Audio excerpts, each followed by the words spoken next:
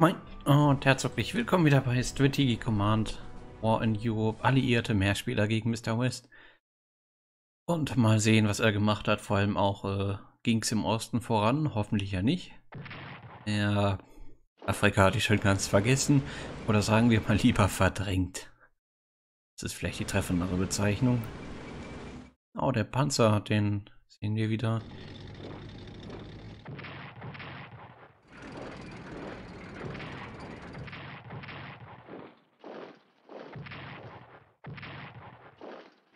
Spannende Frage ist halt, kann die Hauptstadt halten? Drei? Ja? Doch. Ernsthaft? Am Ende ist es eine Garnison. Äh. Meine, dass man das verliert, okay, aber dann muss es eine Garnison sein. Das fühlt sich irgendwie so merkwürdig an. Wir verlieren ein Schiff, aber interessant. Ich meine, klar, es ist unschön, dass sie die Schiffe da verlieren und okay, es ist auch verständlich, dass sie bombardiert werden. Aber hat er die Landungsboote gar nicht entdeckt, dass er die bisher in Ruhe lässt? Das wäre nämlich für uns dann ganz interessant.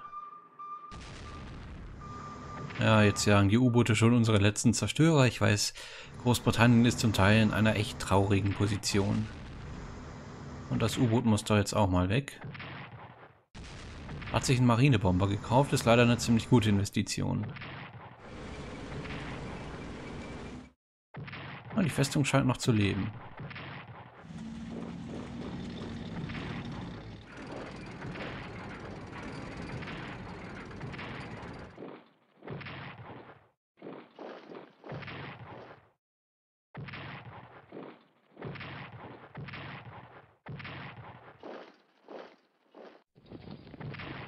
Auch die Festung, das sind einfach alles noch Züge und Runden, also einfach alles Zeit, was wir noch gut machen. Ich denke, das ist eine sehr gute Nachricht, wenn das einfach noch durchhält.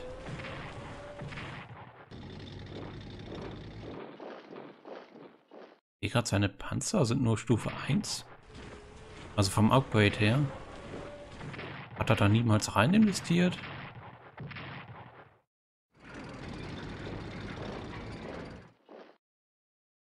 Wundert mich gerade irgendwie, also jetzt, wo einem das mal auffällt.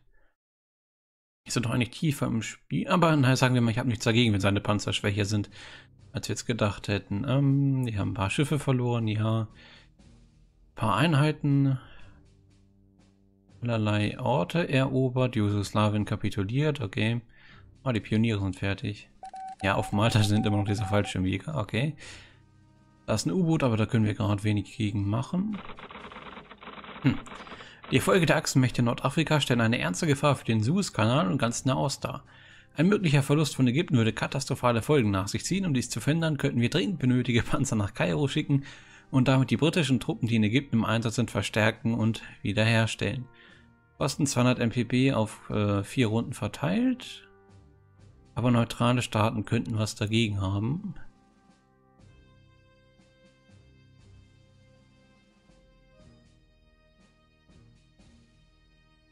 Äh, ah ja, die Türkei könnte 8 bis 15 stärker zu den Achsenmächten tendieren. Ich würde sagen, wir machen das. Dann hält Ägypten vielleicht ein, zwei Runden länger gefühlt. Kriegen wir die jetzt schon direkt? Oh, das ist freundlich. Schauen wir mal, wie lange sie leben, wenn man bedenkt, dass hier direkt eine Pack ist. Ich meine, vielleicht benutzen wir sie auch nur, um sie direkt zu evakuieren. Ich weiß nicht. Äh, ja. Gut, ich habe jetzt, glaube ich, traditionell in Afrika die letzten Runden angefangen. Tun wir es jetzt auch. Unsere Artillerie. Ja, wir könnten ein bisschen auf den Panzer schießen.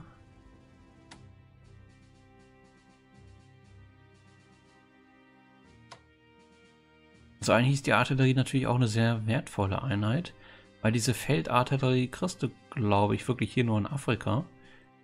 Äh, wenn du sie auch mal dazu kriegst, sonst kaufen kann man, denke ich, doch nur die schwere Artillerie. Aber andererseits halt einfach den Panzerschaden zu machen, das wäre schön. Überlegen wir uns doch mal, was gilt sonst noch? Die Pack. Ich würde sagen, die greift nicht an, die muss sich einfach in Kairo verschanzen und wir müssen sehen, was passiert. Das Ding kostet gleich 50 Punkte hochzuziehen. Das ist äh, ein bisschen teuer. Ich glaube, auf unsere mangelnde Punktanzahl mit den Briten muss ich jetzt langsam nicht mehr hinweisen. Aber gut, wir wollen mal nicht so sein. Du kriegst wenigstens äh, auf Stufe 6. Ja, die Panzer helfen uns hier natürlich ein bisschen so die Linie zu halten. Und wenn die Pack kommt, sind wir zumindest hinter einem Fluss. Also ich bin geneigt, die wirklich so stehen zu lassen, weil wenn wir uns hier durchtauschen, die Pack hat natürlich schon ein bisschen mehr Verschanzung hier aufgebaut. Ich würde das so lassen. Ja, schauen wir uns an. Ah, es ist natürlich unschön, das Wetter gerade. Schwerer Regen. Das heißt dann auch, wir können quasi nichts aufklären mit unseren Schiffen.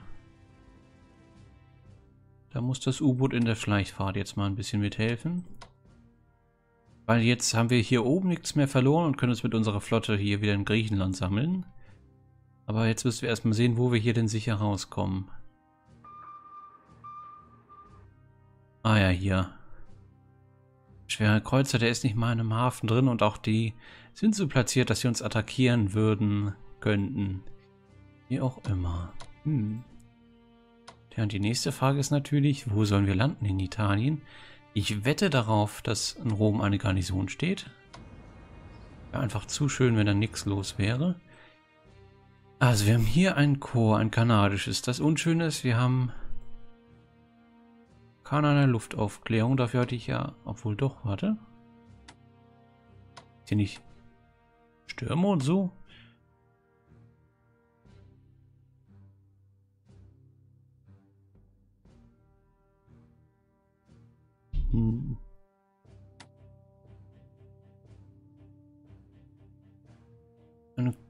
Gute Frage.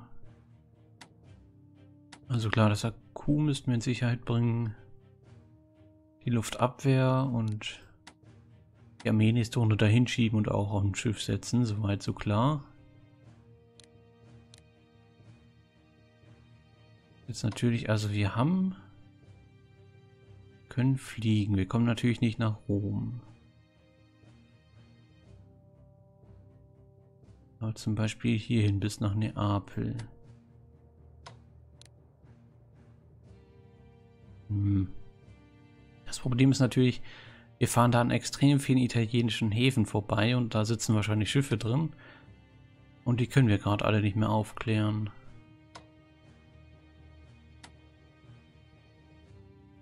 Äh, ist wahrscheinlich, wir kommen nicht so recht auf die andere Seite.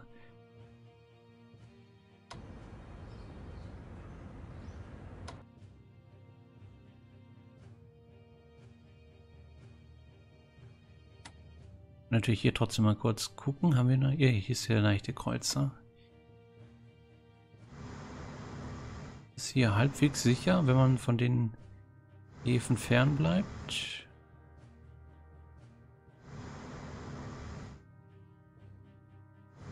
Sieht so aus.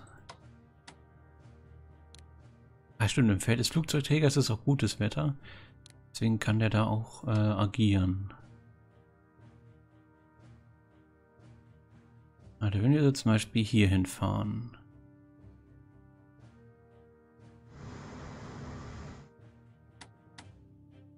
Aha, da haben wir ihn mal raus. Da, der Ort ist zum Beispiel frei.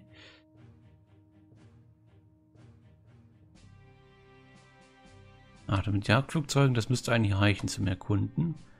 Ich will nämlich mal wissen, ob in Bologna irgendwas los ist. Nein. Tatsächlich in Rom steht die Garnison, die würden wir eher nicht klein kriegen. Aber Bologna.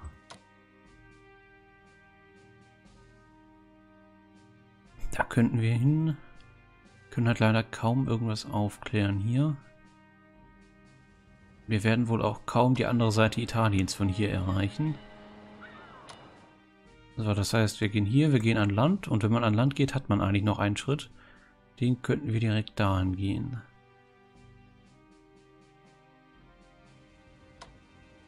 Aber ich wünschte, wir hätten jetzt noch mehr Flieger in der Gegend. Hier.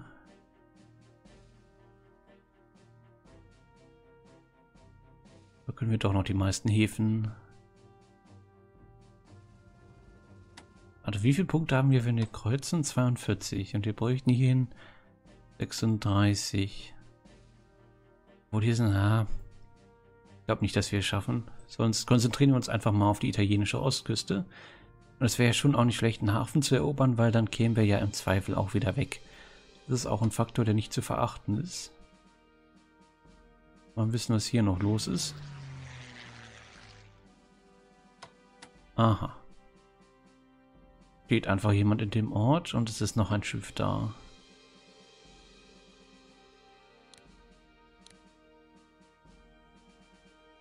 Na gut, sonst würde ich sagen, das Chor macht sich nach Bologna auf.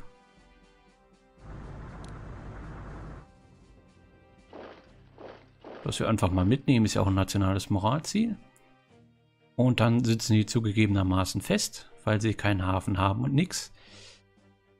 Äh, aber ist dann auf jeden Fall gezwungen, hier wieder Einheiten hinzuziehen, die dann nicht an die Ostfront können. Also das wird schon ein schöner Gewinn. Dann haben wir die Spezialeinheiten. Da wird halt, äh, da wäre es vielleicht schön, irgendwo hinzugehen, wo auch ein Hafen ist. Damit sie dann im Zwei, obwohl Spezialeinheiten brauchen natürlich nicht zwangsläufig einen Hafen. Trotzdem sagen wir mal, es wäre im Zweifel billiger, sie auf ein Transportschiff als auf ein Landungsschiff zu setzen. Natürlich ein Schlag auf den Bomber hier auch nett wäre. Wir könnten natürlich hier rangehen und dann den schweren Kreuzer attackieren. Hat es die britische Flotte ein bisschen leichter. Oh, nicht, dann gehen wir hier hin. Hat natürlich defensives Marine Das war ein wunderbares Beispiel, wenn man keine große Erfahrung mit Landungen hat. Weil man Schiffe nicht sonderlich mag und dergleichen. Das war jetzt wirklich ziemlich blöd. Das bestreite ich nicht.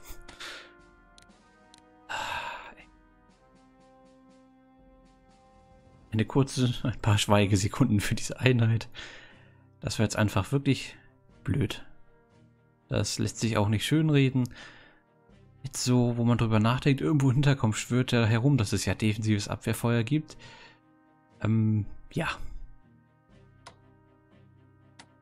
Versuchen wir also einfach jetzt noch möglichst unbeschadet rauszukommen. Das heißt, du kommst auf ein Transportschiff und gehst dann wahrscheinlich nach Griechenland. Hier in den Hafen erstmal. Das ist natürlich, hier ist wahrscheinlich niemand, aber...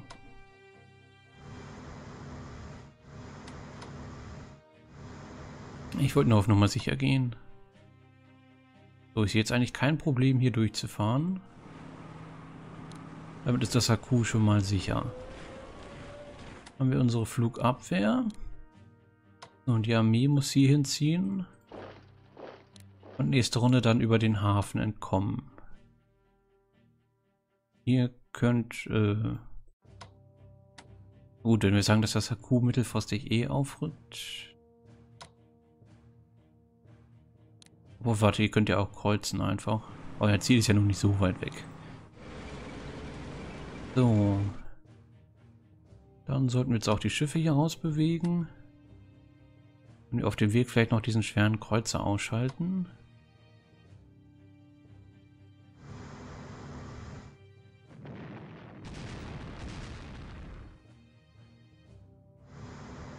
Wird wohl eher schwierig werden.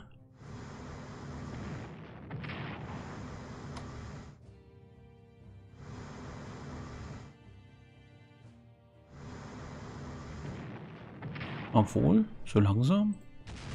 Oh, ey. Immer wieder so ärgerlich, wenn, wenn der durch einen durchfährt. Jetzt ziehen wir uns mal eben den nächsten erst dran. So.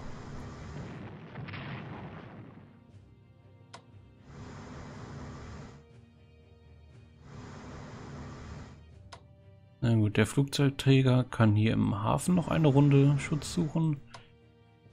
Und du kannst da auch erstmal in den Hafen fahren und nächste Runde hauen die ab. Das, das ärgert mich immer gerade noch ein bisschen. Diesen defensiven Marinefeuer. Naja, wir haben zumindest Bologna. Wird nicht lang halten, aber immerhin. So, diese Garnison bräuchte Verstärkung. Du bräuchtest hier mal die neuen, beziehungsweise du müsstest zurückkommen. Oder diesen Ort da erstmal einnehmen, das wäre beides in Ordnung. Und dann aber nächste Runde zurückkommen. Du brauchst die Upgrades.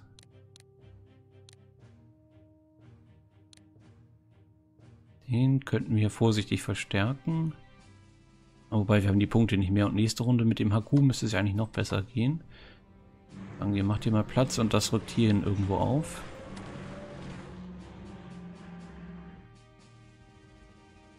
So, dann haben wir noch unser Schlachtschiff.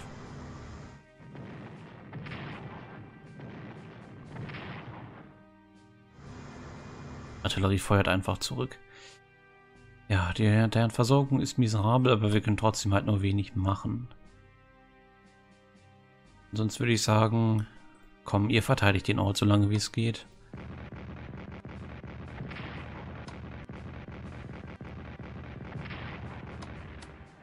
Und auch ihr versucht einfach so lange wie es geht durchzuhalten.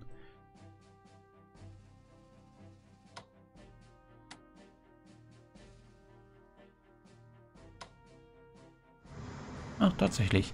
Ich habe mich gerade gefragt mit dem Flugzeugträger, wenn die Flugzeuge dann einmal... Also, ne, da ist ja schlechtes Wetter und so, aber mit dem Flugzeugträger können wir dann auch in gute Wettergegenden fahren und trotzdem was machen. Wir sind schon auf Bomber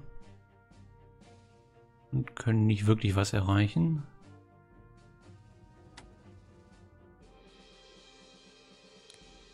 Soll ich mal ein bisschen wissen, was ist dahinter noch so los?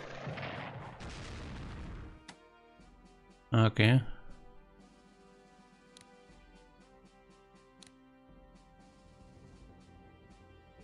Wo kommt eigentlich deren Versorgung? Und wir sehen hier kein HQ, das könnte höchstens, obwohl da ist vielleicht eins drin. Das gibt dann wahrscheinlich weiter. Naja, du fährst jedenfalls erstmal wieder weg. So, das waren hier noch. Den könnten wir noch wieder auf 8 bringen, das würde ich schon sagen, machen wir. Ja, den verstärken ist so eine Sache. Ihr fahrt demnächst weg. Ähm, das ist weiter, ärgert mich immer noch gerade. Und wir schauen mal, wie viele Schiffe wir hier dann noch endgültig wieder rausziehen können. So, ähm... Ja, unsere Zerstörer, die irgendwie alle nicht mehr so recht vorhanden sind. Das ist sogar nur ein leichter Kreuzer.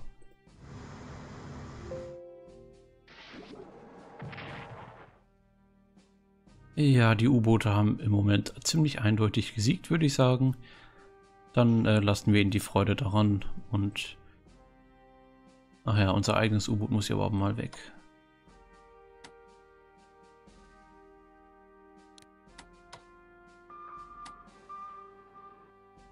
So, das heißt natürlich auch Konvoi Das legen wir erstmal lahm, weil es wird ja eh nichts in Großbritannien ankommen wegen den U-Booten. So, dann kommen wir in den Osten, wo die Deutschen bisher erfreulicherweise nicht so sehr vorankommen. Wir haben 700 Punkte, das heißt, wir können eigentlich verstärken, was wir wollen. Gerade hier in den Festungen, das geht vielleicht einfach noch einen Moment Zeit. Niemand drin, oder? Und wir uns den Ort einfach mal zurück und äh, lassen. Oder bleiben wir einfach drin. Gerade auch nicht so viel machen.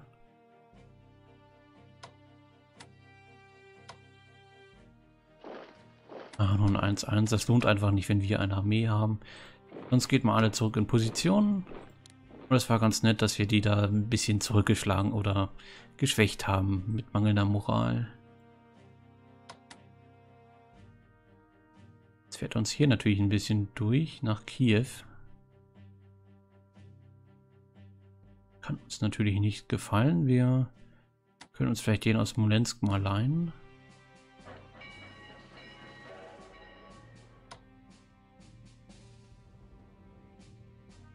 man gerade auch nicht so viel machen. Sonst kommen auch mal eben hier drüben hin. So, ja, die sind eingekesselt. Flieger, ja, die Flieger können halt nichts erreichen.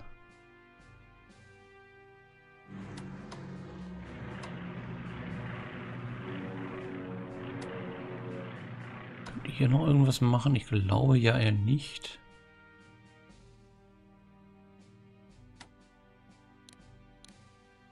Ne, ich würde sagen, ihr bleibt da bei der Festung. Ähm, hier ist der Pionier fertig und ich denke, Leningrad ist dann soweit ausgebaut. Wir könnten auch über dieses Feld nachdenken. Ähm, aber vielleicht wäre es jetzt schöner... Wir können ihn gerade gar nicht verlegen. Okay, sonst geh du noch mal eben zur Seite. Du gehst da rein. Und nächste Runde schicken wir ihn dann vielleicht vor Moskau oder so ein bisschen was aufbauen. Ansonsten... Ja, hier steht noch gut. So, kaufen und forschen. Wir haben ja diesmal viele Punkte über. Ah, mit den Briten, das reicht mal wieder nicht für die Forschung. Und wir haben ja wahrscheinlich genügend Einheiten, die Punkte haben möchten. USA. Ähm, ja, die Marinewaffen. Oder vielleicht, äh, die Luftabwehrwaffen brauchen wir vielleicht auf Dauer dringender aber nach die Marinewaffen und dann sind wir auch langsam am Forschungslimit. Sowjetunion. Wollte ich erstmal kaufen.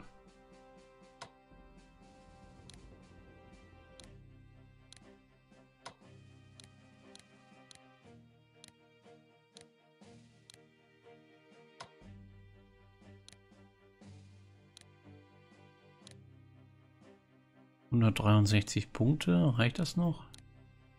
Für etwas, was uns irgendwie weiterhelfen könnte. Na klar, alles könnte uns weiterhelfen. Aber nicht in gleichem Maß, also nicht die Span obwohl Panzerabwehrwaffen. Mit den Sowjets ist es interessant, weil die Deutschen haben ja viele Panzer und wir können mit den Sowjets doch auch so einiges an Packs bauen. Dann passt das schon. Dann passt das schon. Obwohl die USA können jetzt, die müssen erstmal sparen. Die müssen ja noch die Panzer abbezahlen. Dann haben wir noch ein paar Punkte über mit den Briten. Zum Beispiel diesen Bomber da auch mal wieder fit machen. Dann sind wir exakt pleite. Also das Spannende wird jetzt sein, ob alle, möglichst alle Schiffe hier jetzt noch nach Griechenland kommen. Ähm, dass wir uns irgendwie nächste Runde auch diese Straße frei halten, dass die Armee da noch rauskommt. Ah, Bologna schön. Die zweite Landung verlief sehr unschön. Und im Osten, die Deutschen sind ja bisher nicht zu schnell. Da bin ich gerade auch noch recht optimistisch. Und hier ist ja soweit alles ruhig. Das mit den U-Booten ist nicht schön, aber okay. Jetzt habe ich fast wieder Basra vergessen. Aber jetzt sind wir, denke ich, bereit.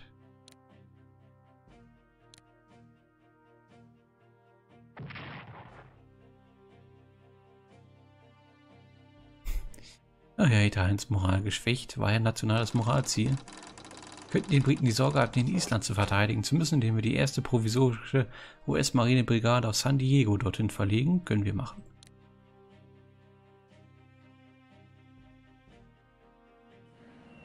Kroatien.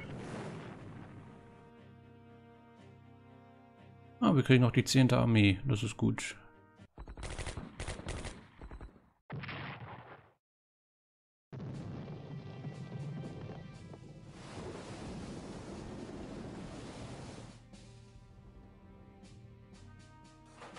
Ja, so ein paar Decksachen und so weiter.